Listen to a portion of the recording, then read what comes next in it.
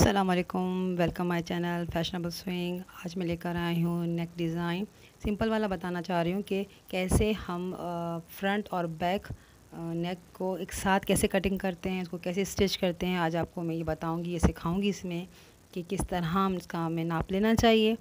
पहले हमें बुकरम को अपने, जैसे हम नेक की कटिंग करते हैं सिंपल वैसे ही नाप लेना आप लीजिए। मैं ले रही हूँ तीन इंच और हमने एक एक्स्ट्रा एक इंच की हमें ज़रूरत होगी। उसके बाद हमने लेंथ का नाप लेना है। लेंथ में रख रही हूँ छः इंच उसके बाद छः इंच के बाद एक इंच का एक्स्ट्रा मार्क लगाना है। एक्स्ट्रा चाहिए होगा हमें। उसके बाद हमने इसको सीधा लाइन लगा देना है। इसके बाद लिख लें कि ये हमारा फ्रंट का पार्ट है और ये हमारा बैक का है, ताकि बाद में कटिंग में कन्फ्यूज़न ना हो। हमें चीज़ समझ में आए। इस तरह फोल्ड करना है। अब हमने लेना है फ्रंट का हिस्से पे नाप लगाते हैं। तीन इंच दोबारा से मैं बता रही हूँ, तीन इंच एक इंच इसके बाद स्ट्रेट लाइन बनाएँ।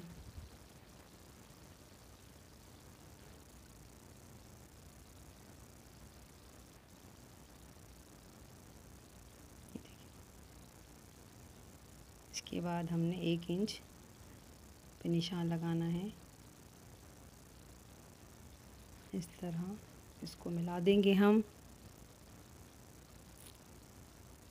अब हमने इसको गोलाई का शेप देना है।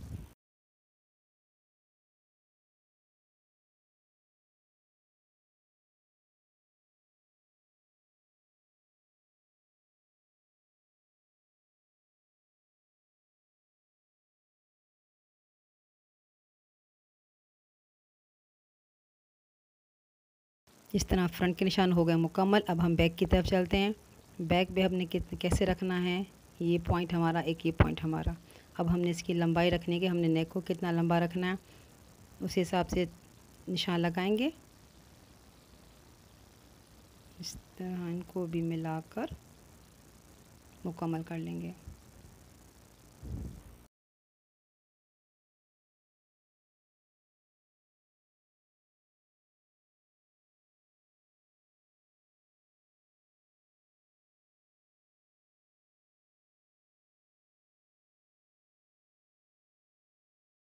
ये देखिए हमारी कटिंग अब हम कटिंग करेंगे इसकी।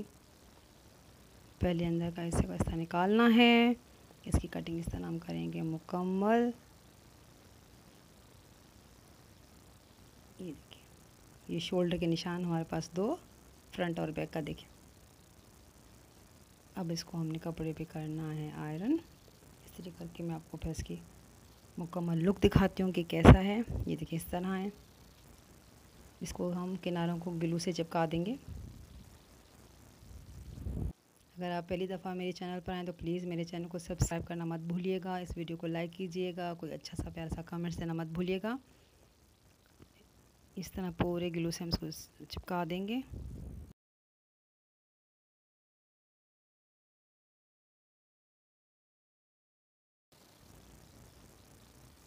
इस तरह शोल्डर के निशान बना लेंगे। दबाकर अब कमीज़ पे पहले बैक और फ्रंट को हमने स्टिच करना है। इस तरह, क्योंकि इसके ऊपर हम रख के सिलाई करेंगे, क्योंकि वो तो हमारा पूरा बुकरम बैक फ्रंट दोनों साथ में स्टिच होंगे, इसलिए पहले हम तीरे को मुकम्मल सी देंगे और आगे और पीछे से को पूरा आपस में जोड़ लेंगे। अब इसके ऊपर सेट करके रखना है, पर सीधे पे नहीं रखना है इस चीज़ का ध्यान रखना है, क्योंकि मैं, मुझे रेड कपड़ा चाहिए, इसमें मुझे डिज़ाइनिंग करनी है तो मुझे पलट के इसको आगे लाना है, इसलिए इसको हम रखेंगे बैक पर। इस चीज़ का ध्यान रखना है कि बीच जो बना है, वो उस पर रहे। शोल्डर के बीच भी बन, मिलने चाहिए, जो हमने बीच बनाया हुआ है कमीज़ का, वो भी इन सबको मिलाने के बाद हमने करना है मुकम्मल गोल सिलाई।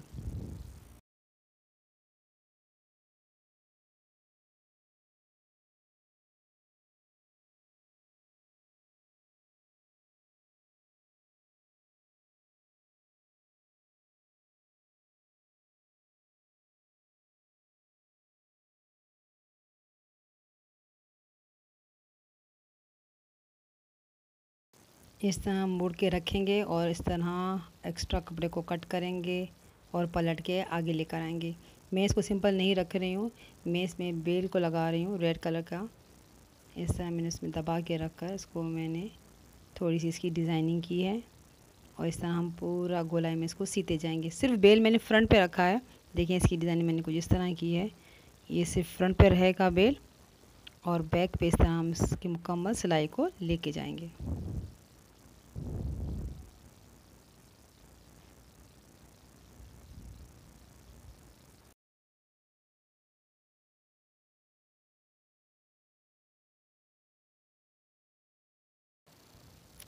ये अगर नेक डिज़ाइन आपको आसान लगा अच्छा लगा हो तो प्लीज़ ज़रूर ट्राई कीजिएगा, अपनी कमीज़ों में बनाइएगा और मुझे कमेंट्स में ज़रूर बताइएगा।